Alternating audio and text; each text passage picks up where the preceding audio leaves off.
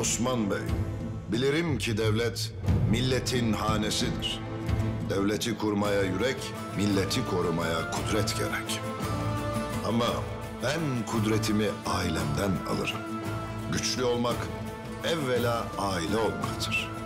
Yüreği çelik, kanı deli akan. Evladım Orhan, Ay maşallah. Ay maşallah. aklı pusadından keskin. Yiğitlerden yiğit olan evladım Alaaddin. Gözümün ışığı, hanemin neşesi, güzeller güzeli Fatmam. Ve en büyük ailem milletim. Her birinin gözünde aynı düşü görür. Cihana yayılan çınar hepimizin düşüdür. O düş ki tek bir sancak altında dev bir aile olmaktır. Devlet olmaktır.